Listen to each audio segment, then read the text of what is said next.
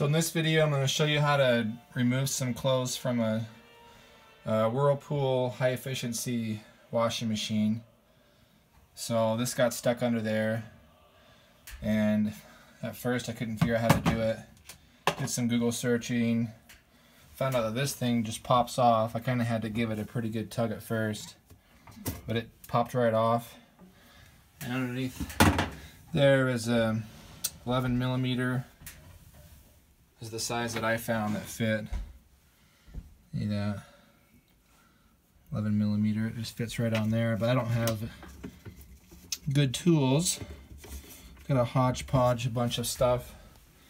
So I grab my handy dandy vice grips, and I have that clamped on there pretty good. And I had to turn that around uh, pretty hard at first, but it came loose.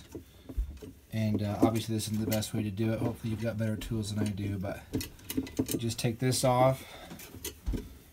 And I've already done this once before, so it's a little easier.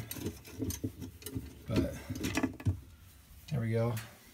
Hold that. Push it down here. See it? So that comes off there. And then I'll just, this just pops right up. There you go. And that's it. Thanks for watching.